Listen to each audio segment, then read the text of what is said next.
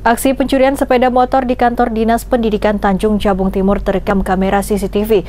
Dalam rekaman tersebut, pelaku berhasil membawa kabur satu unit sepeda motor.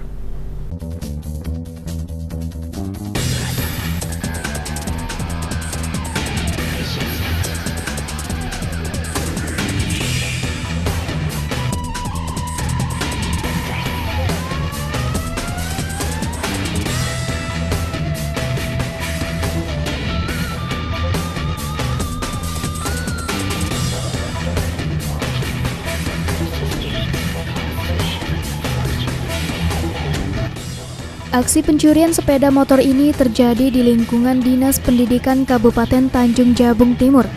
Dalam rekaman kamera CCTV, pelaku yang menggunakan jaket dan celana jeans terlihat mondar-mandir saat berada di halaman parkir Dinas Pendidikan Tanjab Tim.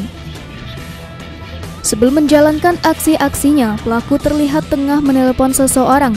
Mengetahui kondisi aman, pelaku langsung memboyong motor yang ada di lokasi parkir kantor Dinas Pendidikan Tanjab Tim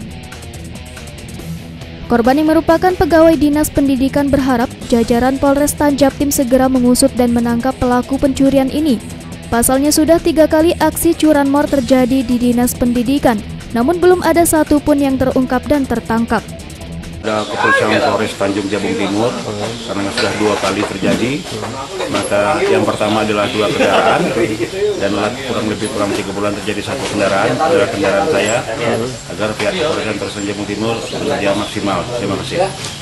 Dari pengakuan pegawai Dinas Pendidikan Tanjab Tim, aksi pencurian ini diperkirakan terjadi antara pukul 11 hingga pukul 12 siang saat kantor Dinas Pendidikan tengah ramai.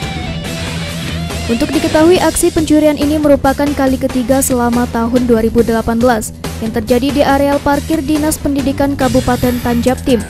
Sebelumnya juga terjadi pada hari Selasa pekan lalu. Eko Wijaya, JEK TV melaporkan.